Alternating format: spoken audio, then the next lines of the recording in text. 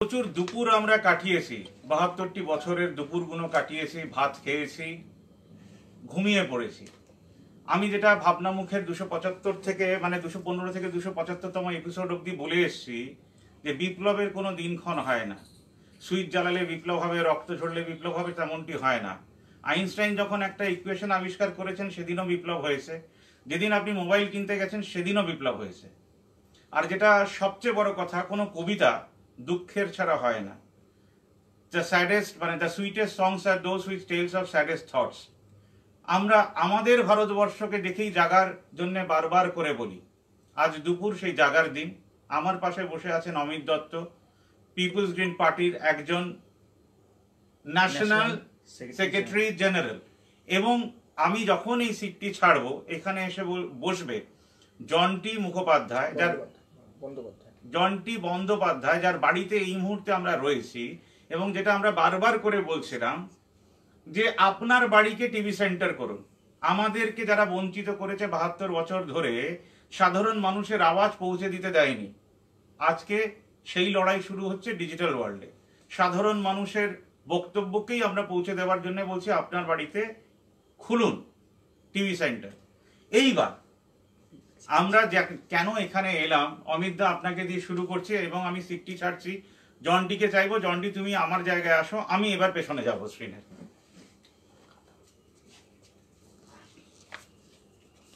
অমিত দা, আপনাকে দিয়ে শুরু করব। একদিকে যুদ্ধ দেখিয়ে ভোট চাওয়া হচ্ছে, তো একদিকে রাফেল আর বাহাত্তর হাজার টাকার গরিবদেরকে কম্পনসেশন দেওয়া হবে এই দেশে।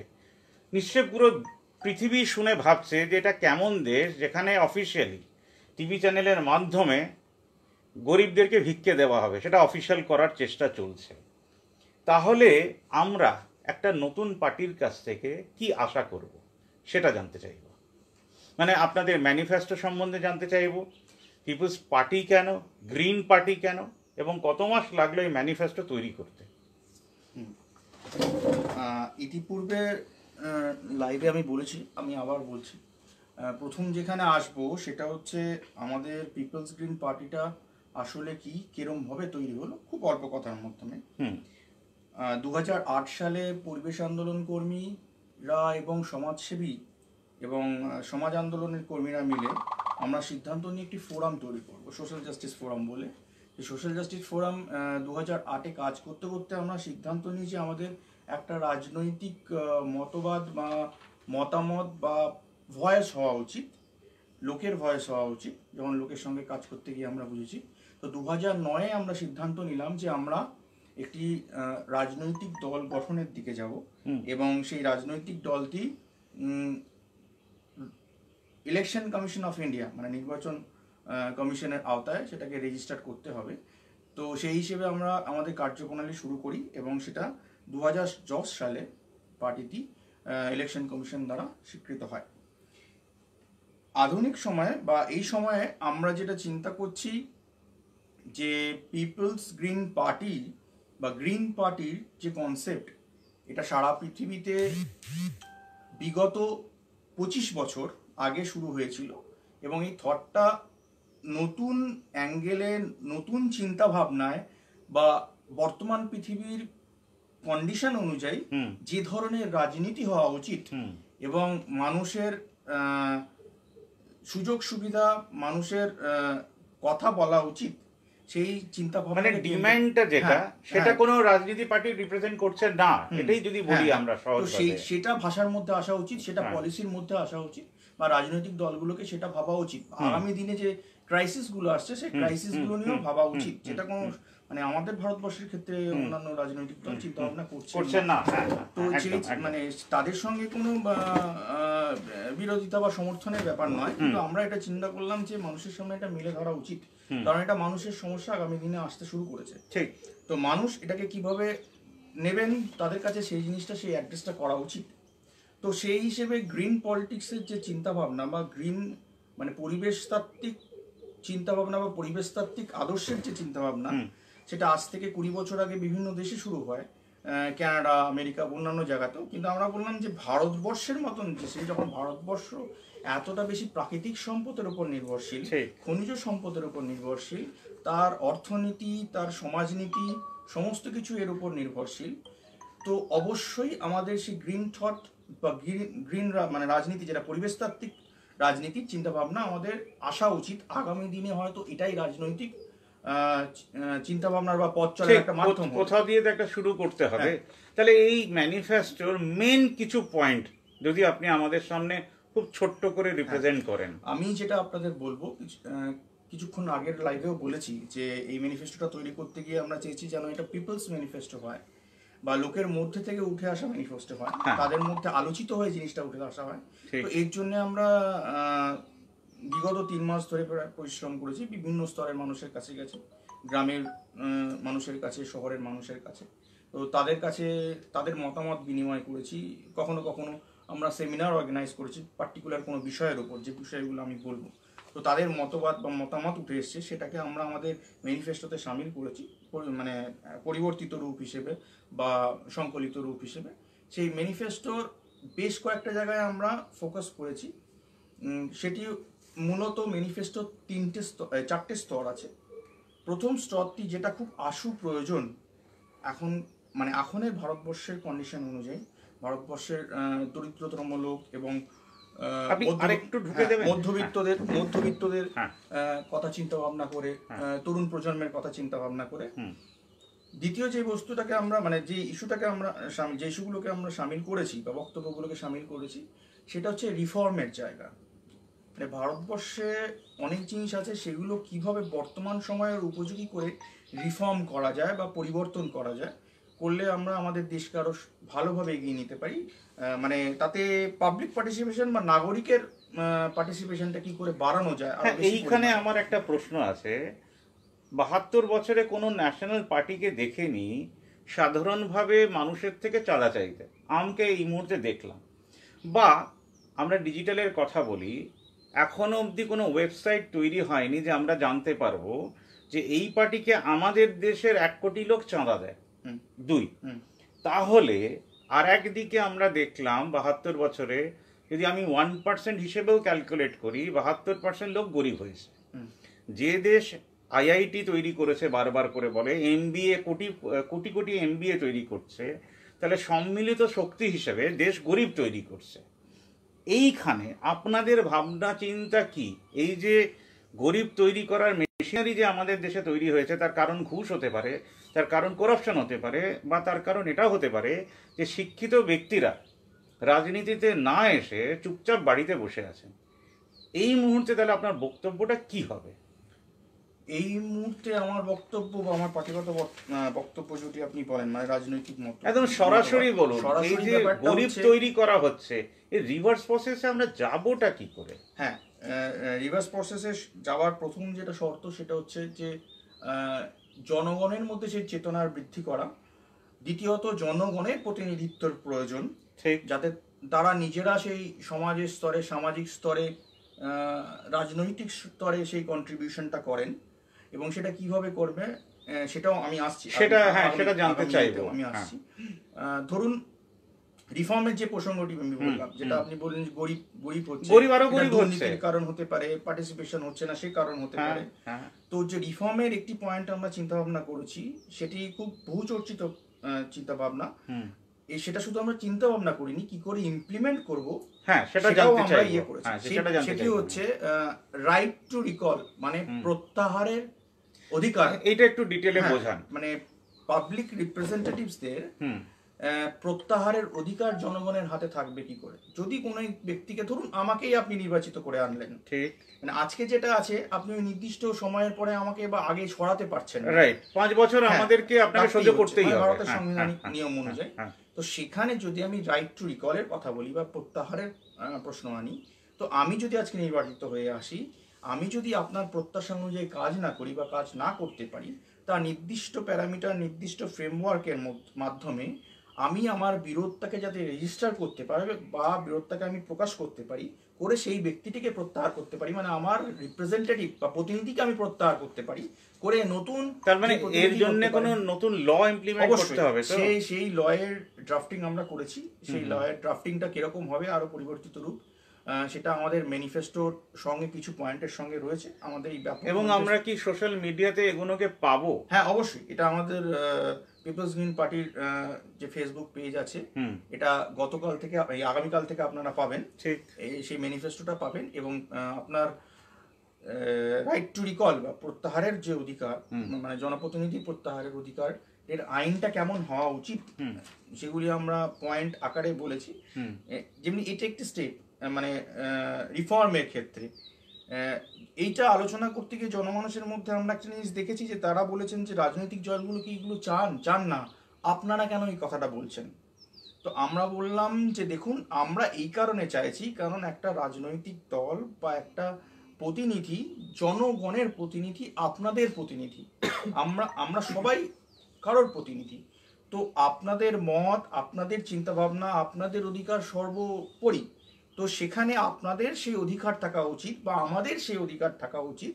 আমরা যখন দেশ গঠনের দিকে যাব যে ব্যক্তি অকর্মণ্য বা যে ব্যক্তি মনে করছি শুধুমাত্র তারা প্রমিসেস করছেন কাজ করছেন বাহাত্তর বছর ধরে বা তিয়াত্তর বছর ধরে কাজ করছেন না তো এটা অবশ্যই জনগণের যদি নির্বাচনের অধিকার থাকে তার প্রত্যাহারেরও অধিকার অধিকার থাকা উচিত। এ প্রসঙ্গে আমি বলব যে চন্দ্রশেখর আজাদ আমাদের মানে স্বাধীনতা সংগ্রামী উনি মানে রেভলিউশনারি ফ্রিডম ফাইটার তো উনি একটা সময় বলেছিলেন তার বক্তব্যে নাগরিক যদি কোনো ব্যক্তিকে নির্বাচিত করে বা কোনো প্রতিনিধিকে নির্বাচিত করে তাহলে তার কাছে এই অধিকারও বর্তায় সেই সে প্রতিনিধি যদি তার সময়োপযোগী না হয় তার কথা না শোনেন বা তাদের প্রতিনিধিত্ব না করেন তাকে নামিয়ে আনার অধিকারও সেই নাগরিকবৃন্দের কাছে বা দেশের জনগণের কাছে থাকা উচিত। তা না হলে সেটা অ্যানার্কিতে কনভার্ট হয়ে যায়। আমি এবার জনটিকে একটা প্রশ্ন করছি। আমরা ধরাবাঁধা প্রশ্নের থেকে বেরিয়ে আমি একটু ভেঙেই যাচ্ছি। সুভাষ প্রেমী, বিবেকানন্দ প্রেমী, এগুলো আমরা শুনে এসছি। এগুলো কেন বলা হয়? কি জন্যে বলা হয়? আলাদা কি লাগে এটা হওয়ার জন্যে? আর একটা কথা জানতে চাইব। এদের তো একটা আইডিওলজি ছিল। সেটা নিশ্চয়ই ফ্রেমে বেঁধে দেওয়ালে রেখে দেওয়ার জন্য নয়। তো এদের আইডিওলজিকে ইমপ্লিমেন্ট করার জন্যে আমাদের দেশ এখন অবধি পারেনি কেন? এটা নিয়ে একটু বিশদভাবে জানতে চাই। দেখুন আপনি যেই কথাটা বললেন সেই কথাটা বিস্তৃতভাবে বলতে গেলে হুম। অনেকটা সময় লাগবে। অনেকটা লাগবে হ্যাঁ। কিন্তু আমি যে সংক্ষিপ্ত সংক্ষিপ্তভাবেই বলি তাহলে এটাই বলতে পারি যে নেতাজি নেতাজি সুভাষচন্দ্র বোস বড় হয়েছেন বিবেকানন্দ স্বামী বিবেকানন্দজির আইডিওলজি ফলো করে। হুম। উনি স্বামী বিবেকানন্দকে যে জীবনের একটা অঙ্গ হিসাবে মেনে নিয়েছিলেন। হুম হুম হুম কিন্তু পরবর্তীকালে আমি যখন দেখি সুভাষচন্দ্র বোস তার স্বাধীনতার বোধ বা স্বাধীনতা চেতনা থেকে যেই স্বাধীনতা সংগ্রামে যে নামলেন হ্যাঁ একদম ব্রিটিশদেরকে তাড়ানোর পেছনে নেতাজিরই হাত। নেতাজিরই হাত একদম। সেই দেশের আজাদ হিন্দ ফৌজ যে মেম্বার আমরা হতে পারলাম না কেন? মানে আমারও তো বক্তব্য যে আমরা বাড়িতে বসেও তো এটা। একটা আইডিওলজিকে সাপোর্ট করতে চাই আপনি যেটা বলতে চাইছেন মানে হ্যাঁ। তার আদর্শটাকে আমরা বহন করলাম না কেন কেন? হ্যাঁ আমরা ফ্রেমে রেখে দিলাম কেন? হ্যাঁ হ্যাঁ, এটা হ্যাঁ, নিয়ে উত্তর চাইছি। হ্যাঁ। যে সুভাষচন্দ্র বোস আমরা সবাই জানি যে উনি চলে গেলেন এখান থেকে। হুম। আমরা মহানিশ্রম সবাই জানি যে একজন পাঞ্জাবির সাহায্যে উনি সাহায্য নিয়ে উনি মহানিশ্রমে গিয়েছিলেন। গিয়ে আমরা সেখান থেকে জার্মানির সাহায্যে সেখান থেকে পরবর্তীকে জাপান এই- এই গতানুগতিক সবাই জানি আমরা সবাই সবাই জানি। এবার বক্তব্য হচ্ছে একটা এফবিতে আমরা আপডেট দিয়েছিলাম। Indians are the enemy of an Indian সেটা কিন্তু এই ক্ষেত্রে একদম প্রযোজ্য। এটা তো ইতিহাসও প্রমাণ করে আমরা বারবার বাইরের লোকেদেরকে সাপোর্ট করে আমাদের দেশের রাজাদের এগেনস্টে লড়েছি ইন্ডিপেন্ডেন্স হারিয়েছি এটা তো বারবারই বলাই যায়। নেতাজি একটা কথা বলেছিলেন ওয়ার্ল্ড ওয়ার টু এর সময় হুম। তখনই আদর্শ সময় ব্রিটিশদেরকে কাউন্টার করার। তাহলে ব্রিটিশরা চলে যেতে বাধ্য হবে। না আমি আবার আমার প্রশ্নে ফিরে আসব যে নেতাজির একটা আইডিওলজিকে ইমপ্লিমেন্ট করার জন্যে আপনারা কিছু এই মুহূর্তে ভাবছেন কিনা? দেখুন নেতাজি আইডিওলজি ইমপ্লিমেন্ট হয়েছে কি হয়েছে না সেটা তো আমরা দেখতেই পাচ্ছি। হ্যাঁ। মেন যে কথা পঞ্চবার্ষিকী পরিকল্পনা এটা কিন্তু নেতাজি সুভাষচন্দ্র বসু মাথা থেকে এসেছিল? হুম যেটা এখন এই গভর্নমেন্ট। অ্যাবলিশ করে দিয়েছে। হ্যাঁ হ্যাঁ হ্যাঁ পঞ্চায়েতি ব্যবস্থা। এটা কিন্তু ওনারও মাথা থেকে এসছেন এটা। ঠিক। এটা কিন্তু কাজে ওনার আইডিওলজি ইমপ্লিমেন্ট হয়নি কিন্তু ওনার প্ল্যানিংগুলো কিন্তু নিয়েছে। কিন্তু সেটা আলটিমেট ইমপ্লিমেন্টটা হয়নি। তারপরে আমাদের আমি ওই রাজনৈতিক দলের নাম দিতে চাইছি না আমরা সবাই জানি। তিনি তার নিজস্ব স্বার্থের জন্য দেশকে বিসর্জন দিয়েছেন। হ্যাঁ। এবং মাউন্ট এটলি নিজে এসে বলে গেছেন উনি হুম। চক্রবর্তী রাজা গোপালাচার্যের কাছে সুভাষ চন্দ্রের জন্য দেশ স্বাধীন হয়েছে। একদম। অমিত দা এবার আমি আপনার কাছে একটা ছোট প্রশ্ন করি। তার মানেটা নিশ্চয়ই বড়। যেহেতু আমি এই দেশের সব মানুষের হয়ে কথাটা বলছি, কৃষক, ছোট ব্যবসায়ী, মিল সংগঠনের শ্রমিকেরা রিটায়ার্ড পিপলরা ও আমাদের দেশের মায়েরা, এদের কথা বা চিন্তা ভাবনার কোনো রিপ্রেজেন্টেশন আমরা খুঁজে পাই না কোথাও, পাড়াতেও নেই। তো এদেরকে কীভাবে এক করবেন? ও এই যে শূন্য একটা ক্রিয়েট করেছি আমরা দেশ জুড়ে যে কে কার পাশে দাঁড়াবে কীভাবে দাঁড়াবে জানে না। এইটাকে কি করে ট্রান্সফর্ম করা যাবে বা এক করা যাবে? মিনিমাম চিন্তা ভাবনাটা কি হওয়া উচিত? প্রথম মিনিমাম চিন্তা ভাবনাটার জায়গায় যদি আসেন আপনি আমি বলি যে ব্যক্তিটাকে নিয়ে একটু আগে আলোচনা হচ্ছিল নেতাজি সুভাষচন্দ্র বসু হুম। আমাদের সবারই প্রণম্য তার আদর্শটাকে আমরা যদি দেখি হুম। যে তাহলে দেখব আজাদিন ফৌজের একটি ছোট্ট ঘটনা আপনাকে আমি শেয়ার করছি। হ্যাঁ। আজাদিন ফৌজে যেখানে ক্যাম্প ছিল এবং যে ক্যাম্পে যেখানে রান্না হতো ফৌজের জন্য যে রান্না হতো হ্যাঁ হ্যাঁ। সে রান্না হওয়ার সময় সুভাষ বোসের একটি নির্দিষ্ট ইনস্ট্রাকশন ছিল যে প্রতিদিন কেউ না কেউ অল্টার করে। তিনি যে ধর্মাবলম্বী হন বা তিনি যে আদর্শেই বিশ্বাস করুন বা উনি যে ধরনের মতবাদেই বিশ্বাস করুন তাকে সেই রান্নাঘরে দিন বদল করে প্রত্যেক দিন এক একজনকে রান্না করতে হবে এক একজনের জন্য। এবং এটাই তো আমাদের এই- সময়কার- বসে খেতে সে- তাহলে তো এই মানে সময় খাওয়ার জায়গা থেকে মানে এক হওয়া। এক হওয়া মানে হ্যাঁ। মানে আমি বলতে চাইছি যে ক্ষুধার টান হ্যাঁ। নিয়ে সেখানে মানবিকতা থাকে সেখানে মনুষ্যত্ব থাকে সেখানে ভ্রাতৃত্ববোধ থাকে সেখানে জাতিবোধ থাকে না। অন্য কোনো বোধ থাকে না। যেটা হ্যাঁ। মানে একাঙ্ক বোধ বলব সেগুলি থাকে না বা সেপারেটিস্ট চিন্তা ভাবনা তাহলে আপনি কি বলতে চাইছেন দু হাজার উনিশে পাড়াভিত্তিক মানুষ মাসে একদিন এই কাজটা করতে পারে? অবশ্যই শুধু পূজার সময় না আমি বলছি মাসে একটা দিন। অবশ্যই করতে পারে এবং আমার মতে বলে ভিন্ন মতবাদে বিশ্বাসী সকলে মিলে করুন। এতে আমাদের একে অপরের প্রতি ভ্রাতৃত্ব বোধ তৈরি হয়। দ্বিতীয় যে কথাটা আমি বলব শুধুমাত্র রান্নার বিষয় নয় যে বিষয়টি আরও বেশি গুরুত্বপূর্ণ সেটি হচ্ছে রোজ জীবনে চলতে গিয়ে যে কাজ বা সামাজিক যে মানে আমি বলব কি অধিকার বা সামাজিক মূল্যবোধের জায়গাগুলোতেও। তারা একসঙ্গে দাঁড়ান। সেখানে দলমত নির্বিশেষে যেন সেই জিনিসগুলো চিন্তা না করে। তাহলে সেটা আমরা আমার মতে মনে হয় যে সুভাষচন্দ্র বা স্বামী বিবেকানন্দ বা অন্য যারা রয়েছেন তাদের আদর্শের দিকে আমরা একটা পদক্ষেপ অন্তত এগিয়ে যাব। এগিয়ে যেতে পারব। আমি এখানে একটুখানি সবার জন্য একটু প্রসঙ্গে ছোট্ট আমি একটা একটা পজ চাইব। জ- তুমি যেটা আমাকে জন্টি বললে এই অ্যাকাউন্টটা কি বলতে চাইছো সেটাকে আগে ঠিক করে দাও। হুম, না এটা যেটা লিখলে আমাকে। হ্যাঁ হ্যাঁ হ্যাঁ। ঠিক আছে। কি আছে বলো? এটা হচ্ছে আমার এখন তো লাইভটা করে দাও? তাহলে এখান থেকে তোমার ফলো বেশি হচ্ছে আমার এখন বেশি হবে। ও চাইলে তুমি ওটা সেট করে দাও। আমি তো বুঝতে পারছি না। ঠিক আছে আমি করে দিচ্ছি। হ্যাঁ, যেটা, হ্যাঁ। আমি শুধু অমিতদার কথা থেকে একটা ছোট্ট অ্যাড করব। হুম। আজাদিন ফৌজের যে রান্নাঘরে অমিতদা যে যেটা সবই বলে গেছেন সেখানে কিন্তু একবার কিন্তু একটা ছোট আকারে বিক্ষোভ হয়েছিল। ছোট একটা ক্ষোভ বিক্ষোভ একটা ক্ষোভ হয়েছিল যে যে একটা ধর্মের হাতে রান্না আমি খাব না।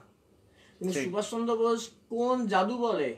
যে এই জিনিসটা মিটমাট করে দিলেন এবং ধর্ম নির্বিশেষে তার একটাই কথা বলে বলেছেন উই আর ইন্ডিয়ান্স ইয়েস আমরা ভারত ইয়েস আমরা ভারতীয়। এইবার অমিত দা আমরা ভারতীয়র এখান থেকে হ্যাঁ তুমি এটা সেট করো সেট করো অসুবিধা নেই। অমিত দা এইবার আমি এক আপনি কৃষকের জায়গায় শ্রমিকের জায়গায় হ্যাঁ এইবার আমাকে বলুন যে ওদের এই শূন্যতা কি করে পূরণ হ্যাঁ। করবেন? এই আদর্শের প্রথম আমাদের সবাইকে এক হতে হবে। সবাইকে ভ্রাতৃত্ববোধের মধ্যে আসতে হবে।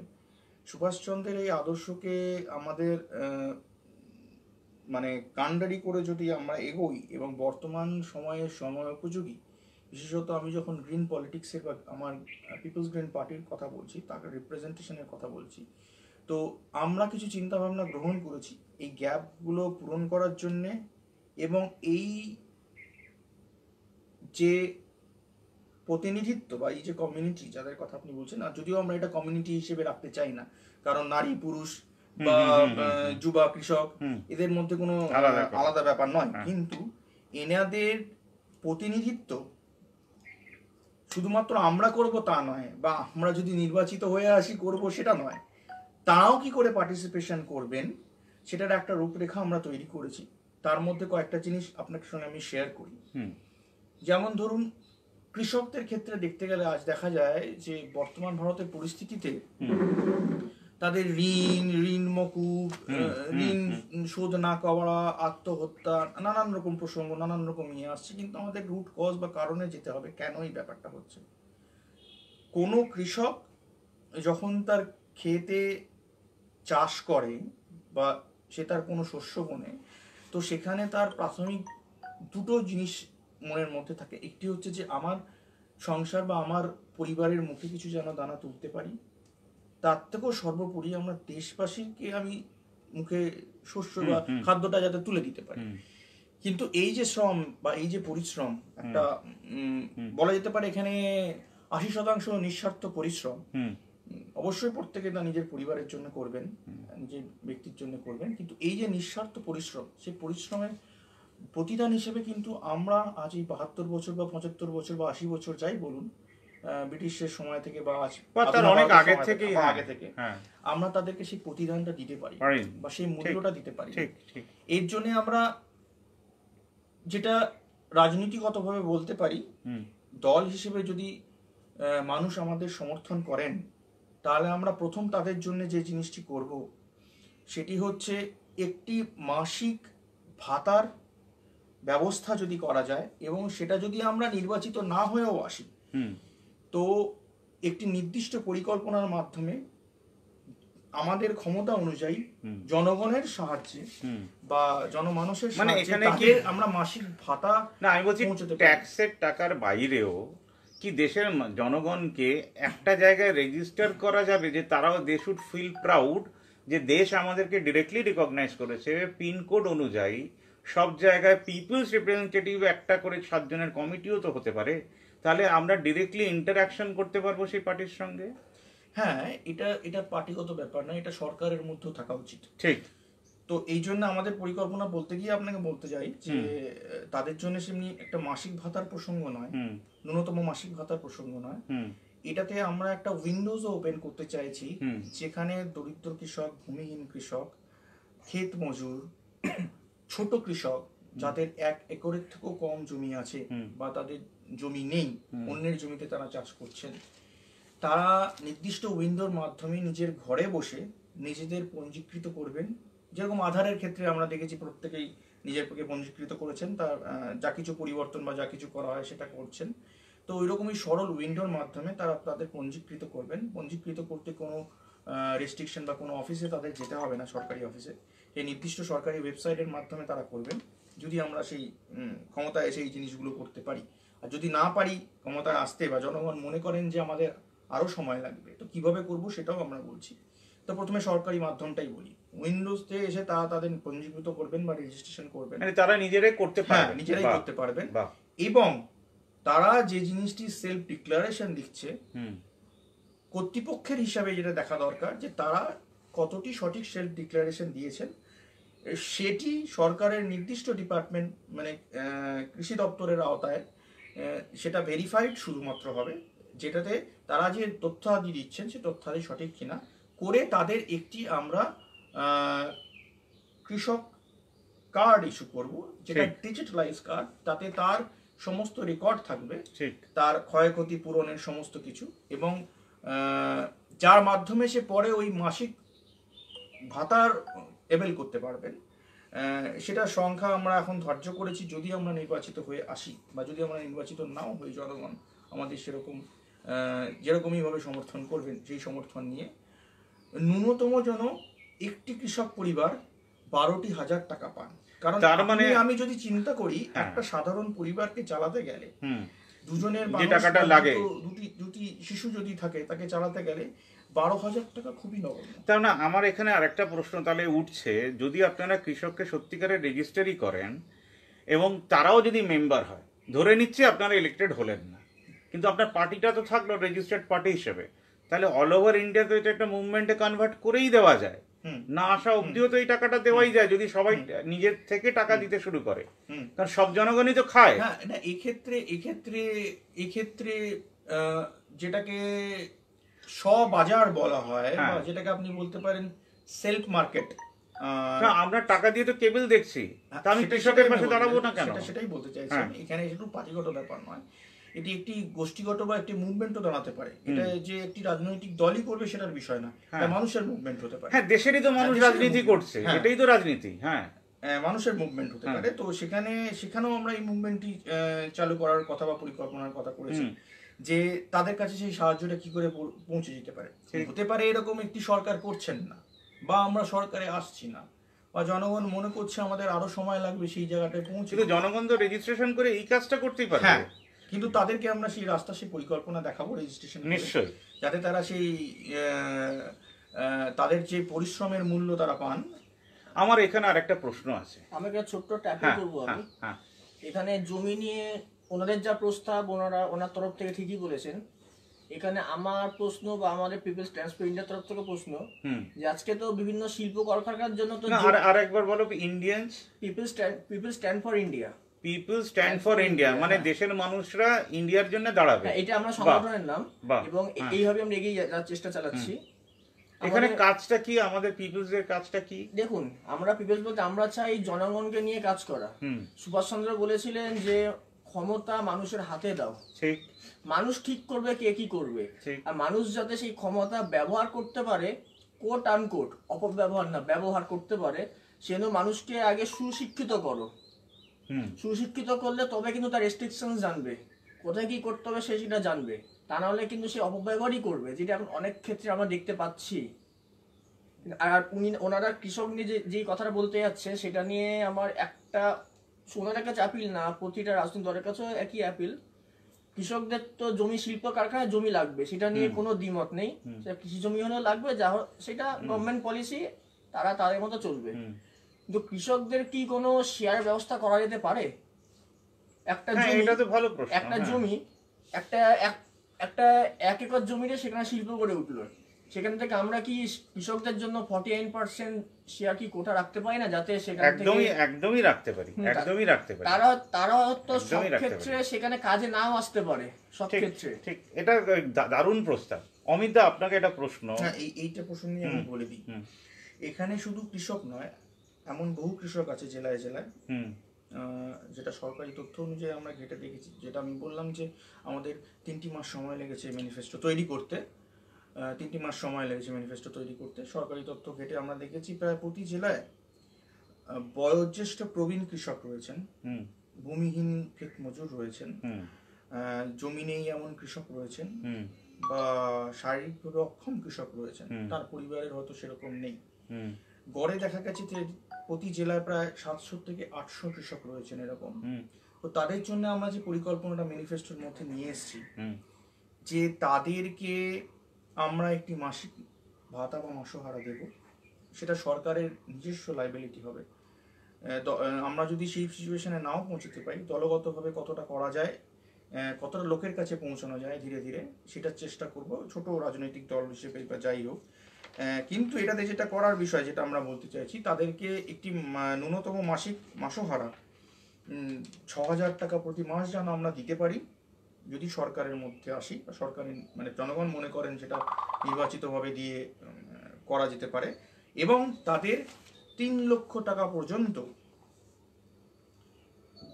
মেডিকেল বেনিফিট সরকারি হাসপাতালে সেটা সরকার বহন করবেন, কারণ ওই বয়সে বা ওই প্রবীণ বয়সে তাদের পক্ষে সম্ভব নয় সেই খরচা বহন করা। তো সেটা যেন তারা পান সেটা সরকার তার নিজের লাইবিলিটিতে বা যদি আমাদের কোনো জনপ্রতিনিধি নির্বাচিত হয়ে আসেন, তার এমপি লেড এমএলএ টাকাতে যেন সেই কৃষকদের কাছে সেই জিনিসটা পৌঁছে দিতে পারেন, সেই চেষ্টাটা আমরা করব। যদি সরকারে যাই অবশ্যই আমরা এটা নির্দিষ্ট দিনের মাধ্যমে এই কৃষকদের জন্য যে পরিকল্পনাগুলো আমরা করেছি সেটা আমরা তৎক্ষণাৎ তাদের জন্য রূপায়ণ করব। এইবার আমাকে বলুন রাজনীতি পার্টিরা নিজেদের কথা বলার জন্যই আসে। কিন্তু সাধারণ মানুষ ও গরিব মানুষ কীভাবে এই দেশের ফোর্স তৈরি হবে? এই যে এত জাত, পাত, ধর্ম আমরা তো কেউ এক এখন অবধি হতে পারিনি। সর্বধর্ম সম্মেলন অবধি আমরা দেখেছি নিজেদেরকে। তারপরে আমরা কীভাবে এক হব জানি না। তাই একদিকে আপনার বক্তব্য শুনব, রাজনীতির বক্তব্য, আর একদিকে জন্টির বক্তব্য শুনব। এই যে এতগুলো ক্লাব, বিবেকানন্দ, অমুক সংঘ নেতাজি অমুক সংঘ বা নেতাজি গোষ্ঠী বা যাই হোক, তাদের জন্য একটা ক্লিয়ার মেসেজ যে মাসিক কোনো কাজ তাদেরকে আপনারা বলতে পারবেন, যেটা ওরা অ্যাটলিস্ট আপনাদেরকে কন্ট্যাক্ট করুক। আপনাদের ফোন নাম্বারটা চাইবই উক্তির সঙ্গে, যে করে তারা মাসিক একটা দিন দেশকে দিক। অবশ্যই এই আহ্বানই দাগ হওয়া উচিত, কারণ একটা সময় সুভাষচন্দ্র সমস্ত দেশবাসীর কাছেই আহ্বান করেছিলেন। আহ, স্বাধীনতার যুদ্ধে সামিল হওয়ার জন্য। অত বড় মাপের আহ্বান না হলেও কারণ যুদ্ধ তো শেষ হয়ে যায়নি। যুদ্ধ গরিবই তো রয়েছে খিদে তো রয়েছে। উনি তো জনগণের হাতেই ক্ষমতা হ্যাঁ। চেয়েছিলেন তো সেই আহ্বান অতটা পরিস্থিতি সেই পরিস্থিতি না থাকলেও যুদ্ধ শেষ হয়নি বটেও। কিন্তু এটা লড়াই বা সমাজে পরিবর্তনের লড়াই আমরা বলতে পারি। হ্যাঁ। একটা দেশের আহ, পরিস্থিতি পরিবর্তনের লড়াই বলতে পারি। তো সেই লড়াইয়ে সামিল হওয়ার জন্য সমস্ত ব্যক্তিবর্গকেই আমরা আহ্বান করছি। কাজ যেটা আমাদের হওয়া উচিত হাতে হাত মিলিয়ে করার কৃষকের জন্য যদি আমরা চিন্তা ভাবনা করি আজ যেটা আমি বলছিলাম যে কৃষকদের যদি মাসে ভাড়া আমরা না পৌঁছতে পারি সরকারি প্রতিনিধি হিসেবে বা নির্বাচিত হয়ে যদি না আসি তাদের নিয়ে একটি সমবেত প্রয়াস করা উচিত। পরীক্ষামূলকভাবে কিছু কিছু অঞ্চলে করা উচিত যাতে তা আমরা একটি দিন করে সেই কৃষকদের জন্য দিতে পারি। যদি আমি মানে আজকে আমি হুগলি জেলায় থাকি। না আমি একটা পরিষ্কার প্রশ্ন করি। আপনি কি তাহলে বলছেন শহর ও গ্রামের মেলবন্ধন যেটা আজ অব্দি হ্যাঁ, হয়নি হ্যাঁ। সেইটা শহরের লোকেরা শুরু করতে পারে? হ্যাঁ সেটা শহরের লোকেরা শুরু করতে পারেন নির্দিষ্ট পরিকল্পনার মাধ্যমে। কি ধরনের পরিকল্পনা? এটা বিস্তারিত আলোচনার বিষয়। হুম। তো শহরের লোকের কন্ট্রিবিউশন গ্রামের লোকের আহ, খাদ্য তুলে দেওয়ার কন্ট্রিবিউশনের মধ্যে একটা মেলবন্ধন সে তো তার জন্য অলরেডি বাজারের একটা পরিকল্পনা হতে না আমি বলছি গ্রামের লোকে তো অলরেডি উৎপাদন করছে মানে সে তো খাটছে সে তো ইনকাম ট্যাক্স অফিসার না। ইনকাম ট্যাক্স অফিসার ফাইন করছে বলে তার স্যালারি হতে পারে তা আপনার জন্য যে সকালবেলা উঠে আপনার বাড়ির বাচ্চা যে জন্মালো আজকে তার জন্যও সে খাটছে। তো তার কাছে তো কিছু টাকা আমরা নিজেরাই পৌঁছে দিতে পারি। সিএসসি কে দিতে পারি ওয়াশিং মেশিনকে দিতে পারি কেবল টিভিকে দিতে পারি চকলেট আর বিড়ি সিগারেট খাওয়ার জন্য দিতে পারি তো তাকে আমরা পৌঁছে দিতে পারি না কেন? হ্যাঁ সেটা আমি আপনাকে বলছি। যেমন ধরুন কিছু বড় বড় মল আছে যেখান থেকে অনেকেই আছেন শহরের লোকেরা কুড়ি টাকার জিনিস 40 টাকা করে কেনে। কেনেন কেননা আমরা একটা কমন গ্রুপ ফর্ম যেরকম সেলফ হেল্প গ্রুপ হয় ওরকম হ্যাঁ। গ্রুপ ফর্মেশন পাড়ায় পাড়ায় একশো জনের বলছেন আপনি। একশো জন পঞ্চাশ জন। একটি গ্রামে পঞ্চাশ জন কৃষককে আমরা অ্যাডপ্ট করে দিই। হ্যাঁ। তাদেরকে সেই জায়গাটা পৌঁছে দিই। সেই মূল্যটাকে পৌঁছে দিই খুব ভালো বাজার প্রস্তাব। মূল্য পাবে এবং সেই মূল্যটা পাবে। পাওয়ার পর তাদের জন্যই তারা খাদ্য এবং জিনিসের দামও কমে যাবে তো। হ্যাঁ অবভিয়াসলি সেটা যদি আমাদের দিকে উৎপাদন যদি হয়, উৎপাদনের ইয়েতে মেন বাজার হবে লোকাল ক্লাবকে আচ্ছা এইবার তুমি বলো। লোকাল ক্লাবকে এই যে বিবেক আমি অন্য ক্লাবগুলো তরুণ সংঘ ফরুণ সংঘ নিয়ে বলছি না। স্পেশালি বিবেকানন্দ ক্লাব এবং নেতাজির ক্লাবে যারা নামকরণ করে এলেন দেশের সামনে তাদের কি রোল হওয়া উচিত জন্টি সেটা নিয়ে তুমি বলো। যেটা তোমার মনের ভেতরে নিশ্চয়ই কি খিদেটা আছে রাগটাও আছে। দেখুন আমি একটা কথা স্টার্টিং এ বলব। আমাদের ইন্ডিয়ান ম্যাপটা এরকম। হুম। একমাত্র ইন্ডিয়া পাকিস্তান যখন যুদ্ধ হয় তখন আমরা বলি উই আর ইন্ডিয়ান্স হুম হুম। তারপর যখন আমাদের কোনো জওয়ান শহীদ হয় তখন বলি খুব ভালো কথা। বলেছ। খুব ভালো কথা এটা কেন হবে? আমরা তো আমাদেরকে- ইন্ডিয়ান আমাদেরকে এইটা বন্ধ করতে হবে। প্রতি মুহূর্তে প্রতি মুহূর্তে Indian, হ্যাঁ। তারা ফরগেট অল দোজ থিংস হুম। একটা কথা শুধু মনে রাখো কন্যাকুমারী থেকে কাশ্মীর থেকে নাগাল্যান্ড থেকে রাজস্থান থেকে গুজরাট আমরা কিন্তু সবাই ইন্ডিয়ান এখানে কেউ ইউপি না কেউ মারাঠি না কেউ কাশ্মীরি না আচ্ছা তুমি আমাকে বলো তো যদি আমি বলি চার মাসে সবাই আমরা চেষ্টা করি ব্লাড ডোনেট করতে সেটা তো সেই কাজটা তো আমরা করতে পারি। মৃত্যুর পর বডি ডোনেট এটাও আমরা করতে পারি। মাসিক কাজটা কি করা উচিত? একটা তো অমিতদা বললেন কৃষকদের হয়ে দাঁড়ানো। তাহলে এটা শুধু কৃষক না আমরা শ্রমিকদের জন্য করতে পারি যুবদের জন্য করতে পারি। তাহলে যুবকরা বেকারদের জন্য কি বিবেকানন্দ আর আহ, মানে আমাদের নেতাজি ভাবেননি এটা কি হতে পারে? যুবকদের জন্য তুমি কিছু বলো। যুবকদের জন্য তারা অনেক কিছু ভেবেছে। হ্যাঁ, আমাদের এটা রিফ্লেকশন আপনার তরুণের স্বপ্নতে পাবো বিবেকানন্দের বহু লেখাতে পাবো। উনি তো বলেছিলেন যে ফুটবল খেলা উচিত। আমাদের গোড়াতেই গলদ তাহলে আনএমপ্লয়েডরা এক হচ্ছে না কেন? বেকাররা এক হচ্ছে না কেন? অনশন করতে পারে যারা শহরের রাস্তায়। তারা এক হচ্ছে না আমাদের গোড়াতেই গলদ। হ্যাঁ বলো এটা নিয়েই বলো। আমি এই কথা স্টার্টিং এই একটু রাজনৈতিক দিচ্ছে বেশি রাজনীতি যাব না। হুম। যেদিন দেখবেন আমাদের দেশে কোনো নেতা মন্ত্রীর পেছনে লাখো লাখো জনতা যাচ্ছে না। ঠিক। যেদিন দেখবেন সেই জনতা সাইকেল নিয়ে যাচ্ছে বাইক নিয়ে যাচ্ছে। উইদাউট এনি সিকিউরিটি গার্ড সেদিন ভাববেন দেশ ডেভেলপ হচ্ছে।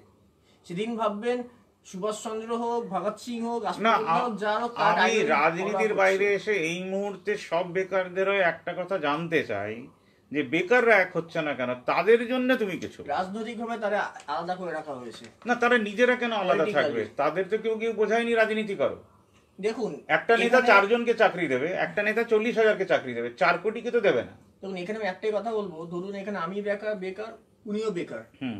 এবার পলিটিক্যালি এখানে ভুলে যান এখানে পলিটিক্যালি কেউ একটা পার্টির হয় না। এখানে এখানে আমাদেরকে ধরা হবে ভোট ব্যাংকের জন্য। তারা ভোট ব্যাংক হিসেবে ইউজ হচ্ছে। তাদেরকে সমান্তরাল ইউজ হচ্ছে তার মানে তাদের কি বলা যাবে যে বাইরে- পাড়াভিত্তিক তোমরা কিছু শুরু করো? পরিষ্কার করে বলো। পাড়াভিত্তিক অনেক কাজ আছে যেটা আমার বন্ধু উনি এক্ষুনি বললেন মানে দাদা উনি এক্ষুনি বললেন যে ক্লাব থেকে যে যে কৃষক মান্ডি যেটা যেটা এই গভর্নমেন্ট চেষ্টা করে গেছে এই গভর্নমেন্ট এটা কিন্তু ক্লাব থেকেও করা যেতে পারে। প্রতিটা ক্লাব থেকে লোকালি লোকালি যেসব আছে যেখানে চাষবাস হয় তাদেরকে অপরচুনিটি দিতে পারে যে আপনারা আসুন এখান থেকে পারলে বিক্রি করুন। সেখান থেকে এক নম্বর আয়ও কম হবে। না আমি আরেকবার ফিরে আসি প্রশ্নে। না আমি একটা প্রশ্নে আবার আসি। যুবদের। যুবদের যুবরা এক হচ্ছে না কেন এই দেশে? আমি সেই প্রশ্নে আসছি। দেখুন আহ, বর্তমান যুব সম্প্রদায়ের মধ্যে দুটো জিনিস আছে। সেটা অস্বীকার করার নয় সেটা স্বীকার করারই জিনিস। যে তারা অনেক বেশি কেরিয়ার ওরিয়েন্টেড শহরের যুবকরা।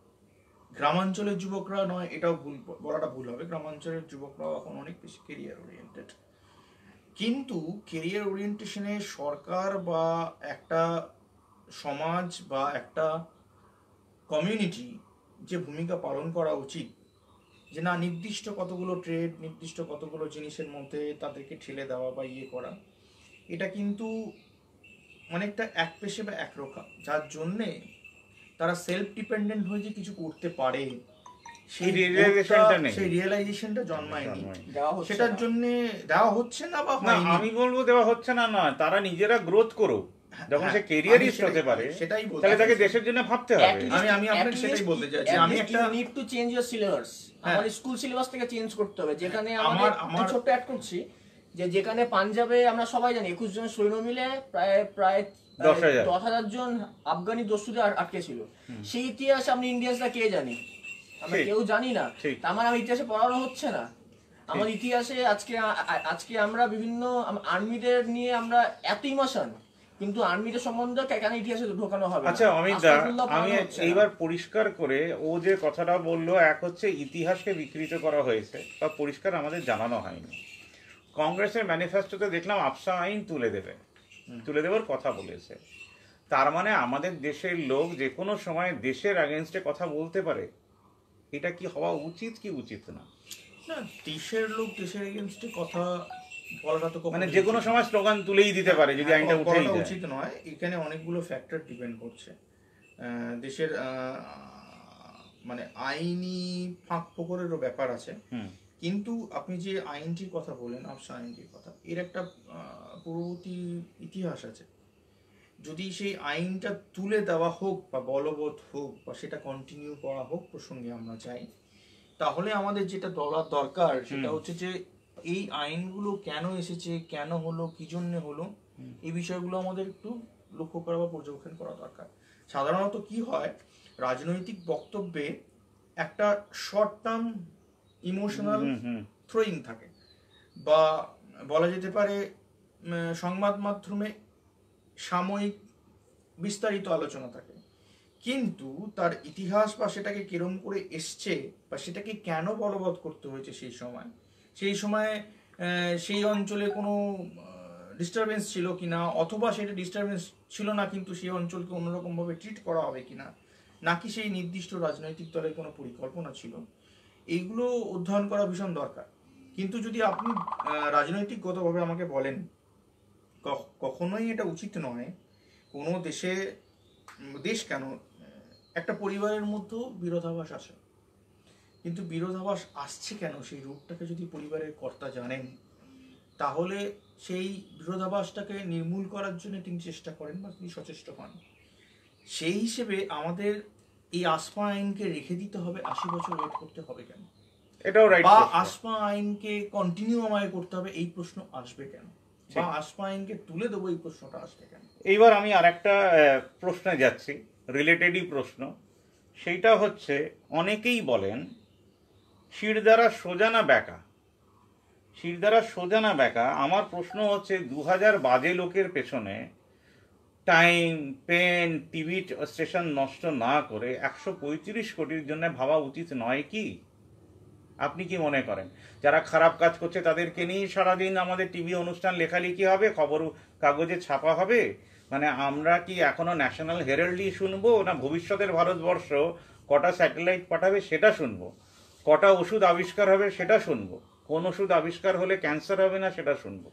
কোন খবরটা আমরা শুনতে চাই? এটা নিয়ে আমি ছোট্ট কথা বলব। মানে হ্যাঁ। ফরেন রাজনীতিতে কি হয় ভোটের আগে তারা একটা গভর্নমেন্ট আছে তার পরিবর্তে যে এগেনস্ট যে অপোজিশন আছে তারা কিন্তু একটা কথা বলে যে এর পরিবর্তে আমি আসি আমি কি দেব? দেবো রাইট আগামী পাঁচ বছর তোমাকে কি পরিষেবা দেব বা আমাদের গভর্নমেন্টের কি আমাদের গভর্নমেন্ট মানে সেই তত্ত্ব সেই দেশের কি পলিসি হতে যাচ্ছে তারা কিন্তু সেইটা বলে। দুর্ভাগ্য আমাদের এখানে অতীতকে নিয়ে টানাটানি হবে। দুর্ভাগ্য আমাদের এখানে কে কোথায় দুর্নীতি সেটা নিয়ে টানাটানি হবে।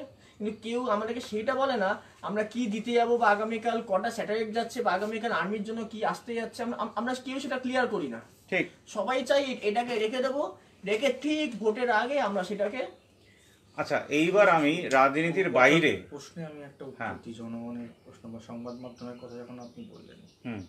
পঞ্চাশের দশকে শরৎচন্দ্র বোস একটি পত্রিকা চালাতেন। সংবাদ মাধ্যম প্রসঙ্গে আমি যেটা বলছি পঞ্চাশের দশকে শরৎচন্দ্র বোস বা শরৎ বোস একটি পত্রিকা চালাতেন। সেই পত্রিকাটির নাম দা নেশন দা নেশন। উনিও বলল। ওনার উদ্দেশ্য কি ছিল? দা নেশন কেন উনি এনেছিলেন? সেই সময় উনি অবশ্যই আহ, সুভাষচন্দ্রের আহ, রেখে যাওয়া ফরওয়ার্ড ব্লককে নেতৃত্ব দিচ্ছিলেন।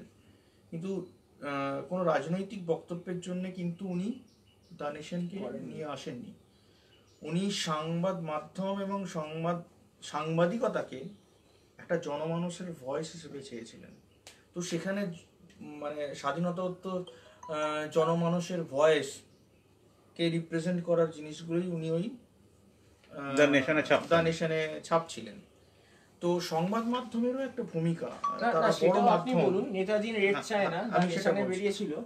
সংবাদ মাধ্যমেরও একটা বড় ভূমিকা। আহ, তাদেরই তো বড় জনমানুষের- ভূমিকা হওয়া হ্যাঁ, উচিত। জনমানুষের আহ, সমাধান ভিত্তিক লেখা। হ্যাঁ যে ভয়েস of সমাধান এবং তাকে রিপ্রেজেন্ট করা জনমানুষকে রিপ্রেজেন্ট করা সংবাদ মাধ্যমের প্রাথমিক দায়িত্ব।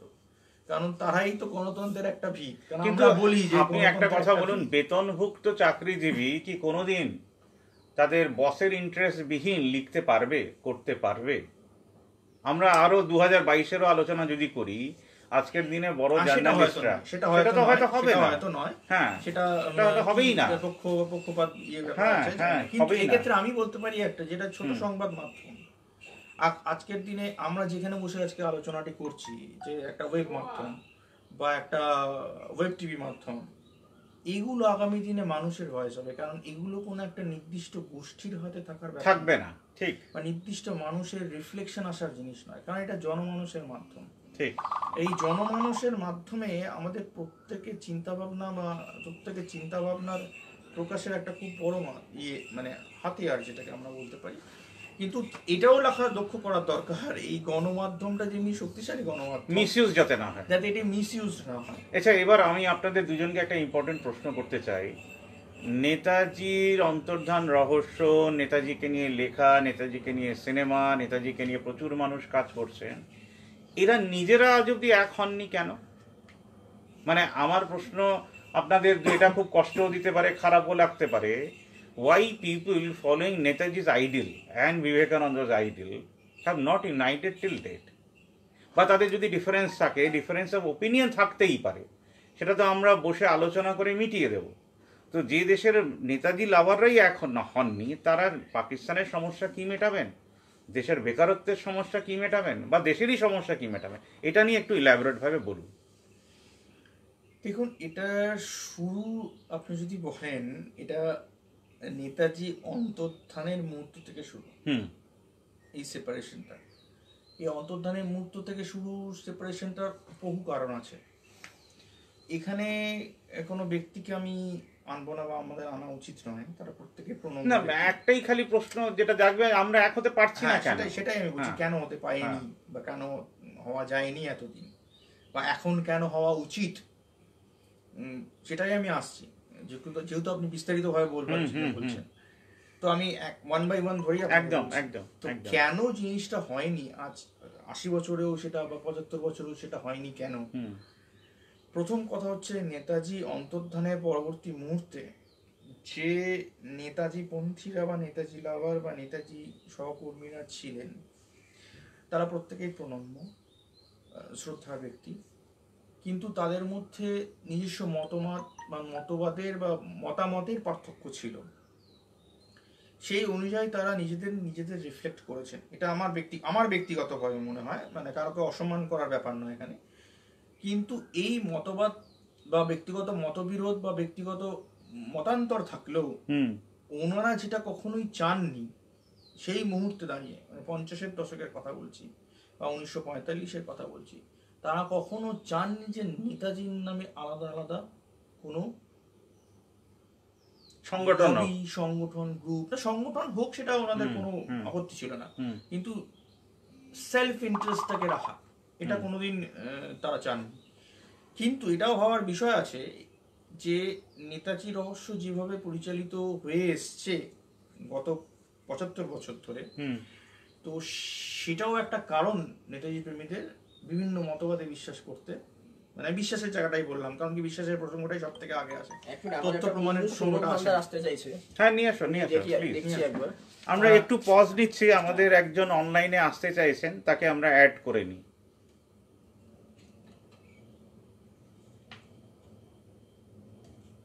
উনি কি বক্তব্য রাখলে তো রাখতে পারবেন। এসে গেছেন স্ক্রিনে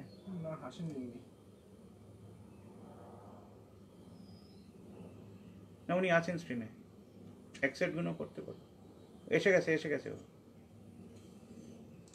এসছেন? না আমারটাতে না ওনারটাতে রয়েছে। হ্যাঁ। উনি বেরিয়ে গেছে। কোনো কারণে মানে লাইন কেটে গেছে কোনো কারণে। হ্যাঁ। অমিতা আবার আমরা ফিরে যাব একই প্রশ্নে। যতক্ষণ জন্টি ওই ওই লাইভের এটা ঠিক করছে যে আমরা এক হতে পারিনি কেন? হ্যাঁ এই- এইটি একটি কারণ যেটা আপনাকে আমি বললাম।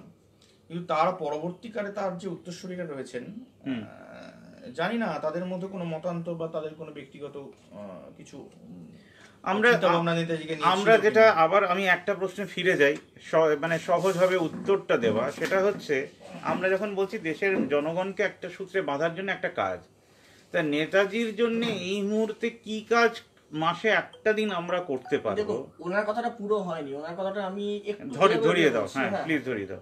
আমরা সবাই জানি নাইনটিন ফর্টি ফাইভে কোনো প্লেন ক্র্যাশ হয়নি। নাইনটিন। ফর্টি ফাইভ এইটিন কোনো প্লেন ক্র্যাশ হয়নি এটা কিন্তু সবাই জানে এই সত্যটা। হুম। কিন্তু ফর্টি ফাইভে প্লেন ক্র্যাশ একটা হয়েছিল সেটা হচ্ছে আগের বছর বাইশে সেপ্টেম্বর আমেরিকান প্লেন ক্র্যাশ হয়েছিল যেখানে আমেরিকানরা বন্দি নিয়ে যাচ্ছিল সেই প্লেন ক্র্যাশ হয়েছিল।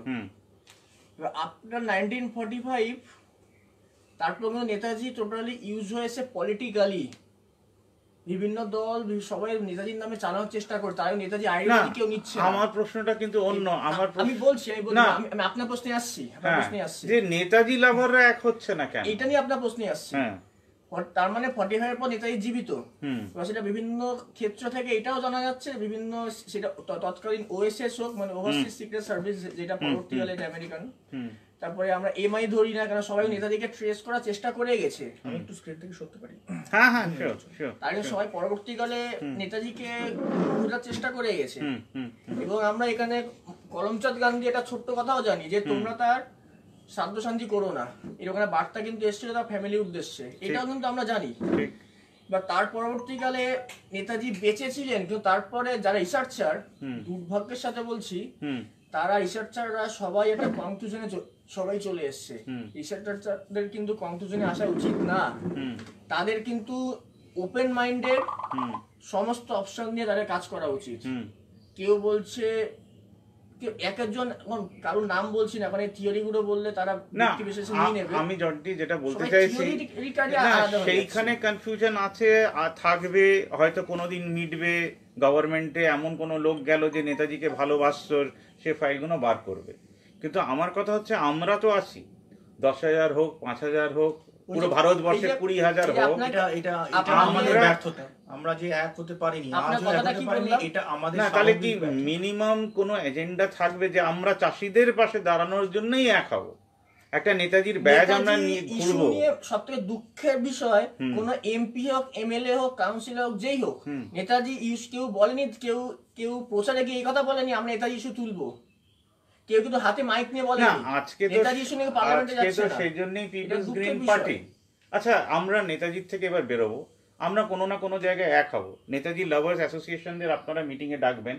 এটা আমি ধরে না নিচ্ছি। কিন্তু আমার ওনাদেরকে ধন্যবাদ জানাব মানে হ্যাঁ। ওনাদের পার্টিকে হ্যাঁ। যে উনি এই- এই ইস্যুতে আমাদের পূর্ণ সমর্থন করছেন এবং বলেছেন ওনারা সহযোগিতা করুন সেজন্য ওনাদেরকে ধন্যবাদ। আমরা যেটা রাজনৈতিকগতভাবে করতে আমি চাই না এর মাঝে একটা বিষয় নিয়ে বলছি। তৃতীয় বিশ্বযুদ্ধ মানুষের হানাহানি ধর্ম নিয়ে তো হবে না হবে জল নিয়ে। জল নিয়ে। আমরা যেটা ভাবছিলাম এটা নিয়ে কিছু বলুন যে এই সমস্যা কতটা গ্রেভ এবং কীভাবে ইস্যুটাকে অ্যাড্রেস করা যায়। এটা হচ্ছে এটা ম্যাসিভ সমস্যা। তাহলে অলরেডি বিভিন্ন জায়গায় আমরা দেখতে পাচ্ছি আর্সেনিক প্রবণতা দেখা দিচ্ছে জলের স্তর নেমে যাচ্ছে। এবং এই এতে আমাদের রাজ্য সরকার একটা প্রকল্প নিয়েছে বৃষ্টির জল ধরার প্রকল্পটা নিয়েছে। বাস্তবায়িত কি হয়েছে সেটা আমি জানি না প্র্যাকটিক্যাল জানি না কাজে সেটা নিয়ে কোনো কিছু বলব না। ওনারা এই প্রকল্প নিয়েছেন এবং ওনারা মুখ্যমন্ত্রী বলছে সেটাও আমি জানি। কিন্তু আরেকটা জিনিস আমরা দেখি বিভিন্ন জায়গাতে জল ইউজ হচ্ছে আর পুকুরগুলো বোঝানো হচ্ছে। বিভিন্ন পুকুর বুঝিয়ে ফ্ল্যাট হচ্ছে। দুর্ভাগ্যের সাথে বলি ফ্ল্যাট যখন হচ্ছে চারদিকে টোটাল সিমেন্ট করে দিচ্ছে। রাইট এখানে তীব্র আপত্তি। সিমেন্ট করবে না।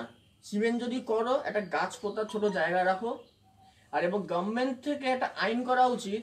সাপোজ ধরুন পাঁচ কাঠা জমি।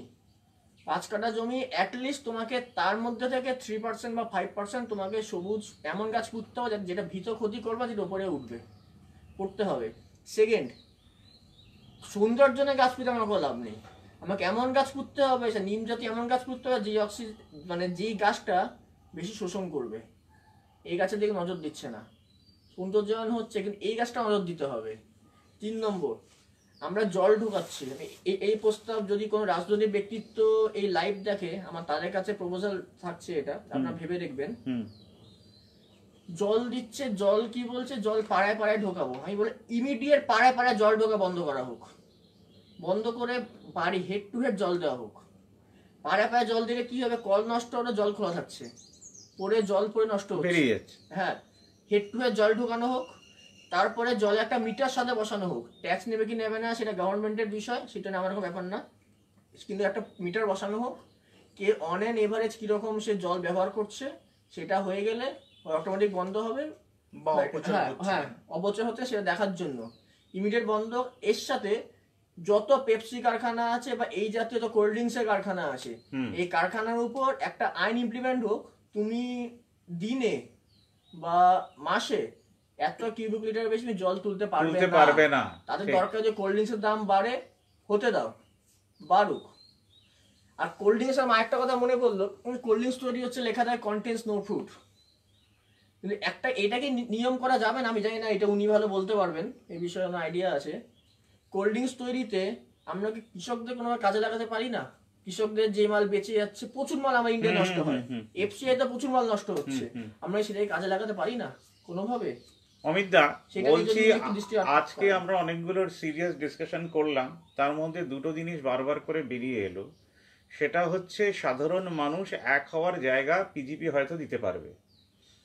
নেতাজি লাওয়াজরাও কোনো একদিন এক হবেন।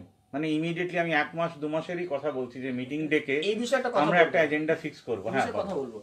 মানে নেতাজি লাভার্স যদি কেউ এখানে দেখে থাকে সবার কাছে একটাই আমার আপিল আপনারা প্লিজ নেতাজি আইডিওলজি উপর ফোকাস করুন। নেতাজি কি হয়েছে বা কি কোন থিওরিতে বিশ্বাস করে সেখান থেকে আপনারা সবাই বেরিয়ে আসুন। একটা কাজ আমরা কাজে হাত দিই। কাজে হাত দেই হ্যাঁ। কাজটা হবে নেতাজি আইডিওলজি ইমপ্লিমেন্ট করতে হবে এক নম্বর। সেকেন্ড হচ্ছে পঁয়তাল্লিশে প্লেন ক্র্যাশ হয়নি। পঁয়তাল্লিশের পরে কি হয়েছে সেটা আমরা সমস্ত যত থিওরি আছে ইনক্লুডিং গুমনাই বাবা লালধারি Muttiah Russia plane crash Manchuria etcetera etcetera যত থিওরি আছে আমরা সমস্ত থিওরিকে অ্যাকসেপ্ট করে আমরা এগোবো না আমি বলছি আধ্যাত্মিক। আধ্যাত্মিক স্টেজ ঠিক আছে কিন্তু দেশের সমস্যা মেটানোর একটা কিছু মেন কথা। বলিনি মেন কথা বলিনি হুম কেউ কেউ প্রশ্ন তোলে আমরা রিসেন্টলি কিছু বেশ কিছু পয়েন্ট আমরা তৈরি করেছি আমরা। আমরা সেই পয়েন্টের ভিত্তিতে সমস্ত সবাইকে এক আনতে চাই। আমাদের কাছে টোটাল প্রায় বারোটার মতো পয়েন্ট হয়েছে না?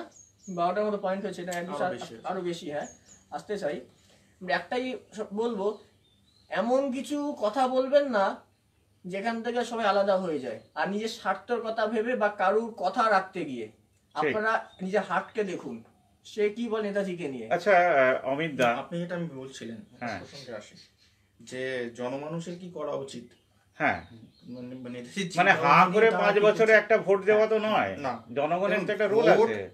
দান বা ভোট দেওয়াটা কিন্তু একজন আহ, জনপ্রতিনিধিকে নির্বাচিত করবার ইয়ে। হুম। সেই জনপ্রতিনিধি দেশকে চেঞ্জ করার নয়। হ্যাঁ দেশকে চেঞ্জ করার না জনপ্রতিনিধিকে নির্বাচিত করে জনগণের ভয়েসে দেশকে চেঞ্জ করার যে ডাক সেটা সুভাষ বোস দেখিয়েছিলেন প্রি ইন্ডিপেন্ডেন্স উনিও জনপ্রতিনিধি ছিলেন। উনি ক্যালকাটা কর্পোরেশনের মেয়র হয়েছিলেন। কিন্তু উনি যে জিনিসটা বারবার আঙুল দিয়ে বোঝানোর চেষ্টা করেছেন বলার চেষ্টা করেছেন যে প্রতিনিধিত্ব একটা বড় গুরুত্বপূর্ণ জিনিস। আমার যেটা বলার প্রসঙ্গ আমার যেটা ভয়েস আমার যেটা আইডিয়ালিজম না আমি আপনাকে একটা জাস্ট পজ করে বলব। বলে দেশের জনগণ যদি হনুমান হয় তাহলে লিডারও হনুমান হয়। জনগণকে কবে জনগণ জাগলে তো নেতা জাগবে। নেতা যদি দেখে জনগণ ঘুমিয়ে খালি তেল লাগায় তাহলে সেও ঘুমিয়ে থাকবে। আপনি এবার বলুন। দেখুন জনগণের আমি আমি সেই করা আমি সেই জায়গাটাই জনগণকে একটা সার্টেন এজ সাপোজ ধরুন ছ বছর থেকে আট- ষোলো বছর আর্মি ট্রেনিং ম্যান্ডেটরি করতে হবে হতেই পারে, এটা একটা ভালো পদক্ষেপ। হবে ভালো পদক্ষেপ। সেটা না হ্যাঁ। যারা গভর্নমেন্ট সার্ভিস পাচ্ছে। তাদেরকে প্রথম তিন থেকে চার বছর আর্মিতে থাকা বাধ্যতামূলক করতে হবে এটাও ভালো প্রস্তাব আম- আমরা ডিসিপ্লিন জানি না আমরা আস্তে গেলে এখানে পিক ফেলি ওখানে পিক না সেটা ভালো প্রস্তাব। ভালো রাষ্ট্রপতি প্রস্তাব। যিনি হন তিনি আহ, তিন মাসের জন্য একটি ট্রেনিং নেন যেটাকে বুট বুট ক্যাম্প ট্রেনিং বলা হয়। হুম। এমার্জেন্সি সিচুয়েশনে নিজেকে কি কি করে রক্ষা করবেন বা তার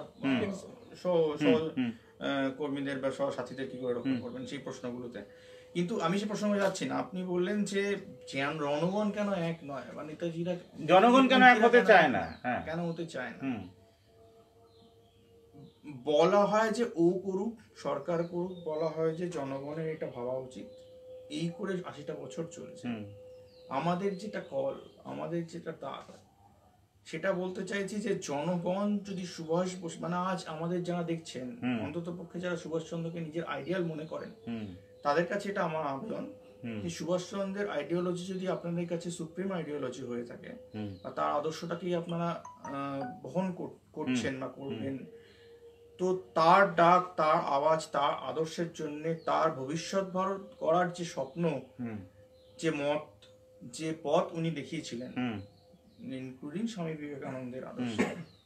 আসুন আমরা সবাই মিলে সেই কাজে নামি এবং আমাদের যেটা বক্তব্য আমরা কেন সুভাষ বসুর সমস্ত আন্দোলন বা এই ইয়েতে রাজনৈতিকগতভাবে সমর্থন দিয়েছি? কারণ আমরা মনে করেছি এটা একটা রাজনৈতিক প্ল্যাটফর্মে বলার বিষয়। কারণ বিষয়টা অরাজনৈতিক প্ল্যাটফর্মে যতটা না ইম্পর্টেন্স পায় আমি রাজনৈতিক। প্ল্যাটফর্মে বলতে আরম্ভ করি সেটা ইম্পর্টেন্স অনেক বেশি পায়। দ্বিতীয় হচ্ছে আমি যদি আমার রাজনৈতিক প্রতিনিধিত্ব না রাখি আমার সেই আইডিওলজির রাজনৈতিক প্রতিনিধিত্ব না রাখি তাহলে সে লড়াইটা আমরা দিতে পারব না। দেশ গঠনের লড়াই। আমি- আমি বলছি না কোনো রাজনৈতিক বিপক্ষ বা আমি আমি আপনাকে আমি আপনাকে একটা ছোট্ট জিনিস ধরিয়ে দিই। প্রতিনিধিত্বের আহ্বান করছি। না আমি আপনাকে একটা ছোট্ট জিনিস ধরিয়ে দিই। আজাদ হিন্দ ফৌজ আফটার ইন্ডিপেন্ডেন্স হাওয়া হয়ে গেল। স্ক্যাটার্ড হয়ে গেল। তাহলে কি আবার আপনি একটা ছোট্ট হলেও দাগ দিচ্ছেন যে আমরা বাড়িতে বসেও একটা আজাদহীন হিন্দ ফৌজ গড়তে যাচ্ছি এবং আমরা সবাই কন্ট্রিবিউট করে একটা নতুন সমাজ গড়তে পারব? সেই ডাকটা কি পাচ্ছি আমরা আপনার থেকে? ভারতকে তৈরি করার জন্য একটা ফৌজ লাগবে। সেটা আজাদ হিন্দ ফৌজের এক্সটেনশন হোক। যারা- যারা- পাকিস্তান আইএনএদের রেসপেক্ট করেছে সম্মান দিয়েছে তার একটা পদাধিকার জায়গায় দিয়েছে। হুম। আমরা ইন্ডিয়া গভর্নমেন্ট তৎকালীন নেহেরু গভর্নমেন্ট জিনিসটা দেয়নি। এইবার আমি শেষ প্রশ্নে আসছি। এটা মন দিয়ে শুনুন। আমি প্রতিনিধিত্বের জায়গাটা একটু পরিষ্কার হ্যাঁ করুন। যদি সুভাষবাদী আমরা নিজেদের ভাবি সুভাষ প্রেমী নিজেদের ভাবি সুভাষচন্দ্রের আইডিওলজি নিয়ে আমরা চলি আসুন আমি সকল সুভাষ প্রেমীকে সকল নাগরিককে আহ্বান করছি আপনারা যদি মনে করেন যে সুভাষচন্দ্রের আইডিওলজিকে আমাদের দেশে প্রতিষ্ঠা করব তাহলে এই প্রতিষ্ঠার জন্যে আপনাদেরই প্রতিনিধিত্বে এগিয়ে আসতে হবে। আমি মনে করি এটা সুবর্ণ সুযোগ। এই লোকসভার সাধারণ নির্বাচনে আপনার ফোন নাম্বারটাও কিন্তু মনে করে দেবেন। লোকসভার সাধারণ নির্বাচনে যদি আপনি কি নিজে নিজেকে সুভাষচন্দ্রের বা আজাদ হিন্দের পথগামী বা সৈনিক মনে করি আমরা। তাহলে আমরা আসি এই লড়াইয়ে সামিল হই নিজেদের প্রতিনিধিত্ব দিই। আপনার ফোন যদি আমি বিয়াল্লিশ জন প্রতিনিধি পশ্চিমবাংলায় পাই যদি আমি একটিও প্রতিনিধি পশ্চিমবাংলায় পাই যে সুভাষচন্দ্রের সৈনিক হিসেবে সুভাষচন্দ্রের আদর্শকে প্রতিষ্ঠা করতে চান তার জন্য লড়াই করতে তাহলে এক লাখ যদি সুভাষচন্দ্রের ফলোয়ার থাকে তাহলে আমরা সবাই টাকা দেব তাকে দাঁড় করানোর জন্য। এটাও ফ্যাক্ট সেটা তো অবশ্যই মানে গ্রহণযোগ্য বিষয়। সেটা আমরা গ্রহণ করব সব আনন্দেই গ্রহণ করব শ্রদ্ধার সঙ্গে গ্রহণ করব। কিন্তু আমরা চাই যে আপনারা প্রতিনিধিত্ব দিন। বাহ। ভালো আর যদি আপনাদের ইচ্ছে থাকে ইন্টারেস্ট থাকে সুভাষচন্দ্রের আদর্শে এগিয়ে আসার প্রতিনিধিত্ব যদি আপনাদের করতে হয় people's green party always with you people's green পার্টির ঝান্ডা ধরুন কি না ধরুন সেটা বিষয় না সুভাষচন্দ্রের আদর্শের ঝান্ডা ধরুন পিপলস গ্রিন পার্টি সুভাষচন্দ্রের আদর্শের পিছনে রয়েছে তার আদর্শ ইমপ্লিমেন্টেশনের পিছনে রয়েছে তার ভবিষ্যৎ বারণ করার সব প্রসঙ্গে রয়েছে সাথে আধুনিক পরিস্থিতিতে যে পরিবেশতাত্ত্বিক পরিবেশ বান্ধব পদ্ধতি, নীতি নির্ধারণ করার দরকার পড়ে, তাতে ভারতবর্ষকে এগিয়ে নিয়ে যাওয়ার দরকার পড়ে, যেটাতে জনমানুষের বেনিফিট আছে, জনমানুষের প্রতিনিধিত্ব আছে, জনমানুষের পার্টিসিপেশন আছে, তাহলে আসুন আমরা সবাই মিলে পিপলস গ্রিন পার্টির তরফে প্রতিনিধিত্বে এগিয়ে আসি। মানে আমি যেটা সোজা বাংলায় বলছি মানে চলছে বা আগামী লোকসভা নির্বাচন বা অ্যাসেম্বলি নির্বাচনে প্রতিনিধিত্বের জন্য এগিয়ে আসি এগিয়ে আসুন হ্যাঁ। এবং প্রতিনিধিত্ব গ্রহণ করি। People's green party is always welcome you আপনার ফোন নাম্বারটা বলুন। Nine eight seven four zero nine eight seven four zero double seven double zero nine double seven double zero nine এবার nine eight seven. Four zero double seven double zero nine এবার জন্টি আমি বলব যারা এখন দেখছেন আমাদের লাইভ অনুষ্ঠান বিবেকানন্দের নামে ক্লাব খুলেছেন নেতাজির নামে ক্লাব খুলেছেন যাতে তোমাকে কন্ট্যাক্ট করতে পারে তোমার ফোন নাম্বারটা দাও। পূর্ণমাদের ছোট্ট কথা বলছি। আমরা আমার দেশের সংবিধান অ্যামেন্ডমেন্ট করে আমরা সেকুলারিজম বলছি আমরা সেকুলার বলছি। What is the meaning of secular সেই সেই উদাহরণ যদি কেউ যদি দেখতে চায় আমি তাদেরকে বলব আপনারা ইতিহাসের পাতা খুলুন। আপনারা ইতিহাসের পাতা খুলে একটু আজাদিন গভর্নমেন্ট ইতিহাস জানি আমাদের ইন্ডিয়াতে এটা পড়ানো হয় না। এটা ইচ্ছা ইন্টেনশনারি আজাদিন গভর্নমেন্টের প্রতিটা ইতিহাস চেপে দেওয়া হয়েছে এটা আমি জোর করে বলছি। এটা তারা একটা উদ্দেশ্য করে তাদের উদ্দেশ্য প্রণীত করার আমি জন্য আমি বলছি আমি বলছি আপনার কথায় আসছি না ইতিহাস দমিয়ে দিয়েছে মেনে হ্যাঁ। নিলাম। কিন্তু দু হাজার উনিশ থেকে তো নতুন ইতিহাসও হতে পারে আমরা আবার খুলবো। সেই জন্য আমি চাইব যে তোমাকে যাতে তারা কন্ট্যাক্ট করতে পারে সেই নাম্বারটা দাও। এক মিনিট একটু হ্যাঁ। এবার যেটা বলি সেকুলারিজমের আদর্শ উদাহরণ হচ্ছে আজাদিন ফৌজ। হুম নিশ্চয়ই যেখানে হিন্দু মুসলিম খ্রিস্টান কিচ্ছু ছিল সবাই একসাথে কাজ করেছে। আমরা ইন্ডিয়ান এর বাইরে কেউ কিচ্ছু ছিল না। এবং আমি একটাই কথা বলব, আগামী দিনে আমাদের বেশ কিছু প্রোগ্রাম আছে। প্রোগ্রাম মানে খালি মিটিং মুখ দেখানো প্রোগ্রাম না। না কাজের কাজের। কাজের বেশ কিছু প্রোগ্রাম আছে। আমরা চাই আপনারা সবাই সহযোগিতা করুন। হুম। সবাই সহযোগিতা করে সবাই আমাদের সাথে আসুন। ওনারা পলিটিক্যালি ওনারা সেটা অন্য ব্যাপার হ্যাঁ। হ্যাঁ। এবার আমরা চাই আপনারা আসুন আমাদের বড় বেশ কটা প্রজেক্ট আছে সেটা আপনার সহযোগিতা ছাড়া আমরা এগোতে পারব না। হুম। সেই জন্য যদি কন্ট্যাক্ট করতে চান আপনার নাম্বারটা দিচ্ছি। ফোন নাম্বারটা দাও। Nine eight three one nine eight three one four three two six four three. আবার বলছি nine eight three one four three two six এইবার একটা শেষ প্রশ্নে যাচ্ছি। তারপরে আমরা আজকে দুপুরের এই অনুষ্ঠানটি শেষ করব। যে বেতনভুক্ত সরকারি চাকুরিজীবীরা যারা, সুপ্রিম কোর্টের লয়ার থেকে আমি কেরানি অবধি বলছি কেরানিয়ে না, পিয়ন অবধি, যারা গভর্নমেন্টে সার্ভিস করেন, রিটায়ারমেন্ট করেন, একটা সুন্দর লাইফ কাটান, তারা দেশ গড়তে এগিয়ে আসেন না দেখা যায় বেশিরভাগ ক্ষেত্রে। তাহলে কি আমাদের দেশের মানুষদের দেশপ্রেমের এই ভাবের অভাব আছে। যারা প্রাইভেটে কাজ করেন তাদের কথা ছেড়ে দিচ্ছি তারা গাধার মতন আঠেরো ঘণ্টা খাটেন দেখুন পরিস্থিতি তো তাই বলে। পরিস্থিতি বা আমরা যেটা দেখছি সেটা তাই বলে। আপনার কথা ইঙ্গিত তাই তাই দেয়। কিন্তু প্রশ্ন হচ্ছে যে হয়তো তারা চান কিন্তু করতে পারেন না। কেন পারেন না? হয়তো তাদের পরিবার হয়তো তাদের না তাহলে একটা কথা বলুন পুলওয়ামাতেও তো মারা গেল যারা দেশের সৈনিক। তারাও তো দেশেরই সৈনিক। তাহলে আমরা যখন শহীদ শহীদ বলে নাচি তাহলে আমরা যারা সরকারি কর্মচারী যারা রাজ্যের কর্মচারী তারা এমন কোনো সিস্টেম গড়ে তোলেন না কেন যেখান থেকে সাধারণ মানুষ তাদেরকে দেখে অ্যাটলিস্ট ইন্সপায়ার্ড হয়ে দেশের জন্য কিছু করবে। যারা বেতন পায় যারা এমপি তারা যদি দেশের জন্য মাসে একটা দিন একশোটা গাছ লাগাতো তাহলে তো সাধারণ মানুষ দুশোটা গাছ লাগাতো। এই ইন্সপিরেশন তাদের ভেতরে আসে না কেন? যে পুলওয়ানায় তো শহীদ হওয়া যায় কিন্তু দেশের জন্যও তো কিছু করা যায়। হ্যাঁ সেটার জন্য কিছু ব্যক্তি কিছু পরিকল্পনা আচ্ছা, কিছু আমরা নির্দেশ নির্দেশনা দিতে পারি কিন্তু এগুলো সম্পূর্ণ ব্যক্তিগত বিষয়ে তারা আসেন না কেন এটা তাদের ভাবা উচিত। না আমি বলছি দু হাজার উনিশ থেকে ভাবতে শুরু করতে পারে তো। ভাবুন তারা ভাবুন এটা আমরা চাই। যে একজন স্যালারি নিয়ে মারা যাচ্ছে আর উনি এসিতে বসে হাওয়া খেয়ে শুধু বলবেন আমাদের দেশে লোক মরছে কেন? হ্যাঁ, তিনিও তো কিছু করতে পারেন। সেটা তো উনি না বলতে পারেন। আজকে যিনি বর্ডারে দাঁড়িয়ে বলছেন তিনি যদি আজকে বলেন যে আমার ঘরে দুটি শিশু আছে আমারও তো এসি ঘরে হাওয়া খাওয়ার ইচ্ছে আছে। হুম হুম হুম বলে আমি ঘুমিয়ে পড়ি। হুম। তখন আমার আপনার কি হবে? কি হবে? আমি আম- যে ব্যক্তিটিকে উদ্দেশ্য করে আমরা বলছি যে ব্যক্তিবর্গদের উদ্দেশ্য করে বলছি তাদেরও ভাবা উচিত। আমি এবার একটু সামনে আসি। বলছি আজকের দুপুরের অধিবেশন আমরা এখানে শেষ করছি। এই বলে যে আমরা ন্যাশনালিজমকে কি আমরা ন্যাশনালিজমকে কীভাবে প্রমোট করব সেটা আমাদেরই হাতে। দু হাজার উনিশে বসে আমরা সাতাত্তর, সতেরোশো সাতাত্তর, আঠেরোশো সাতাত্তর, উনিশশো সাতাত্তর নিয়ে আর আলোচনা করব না।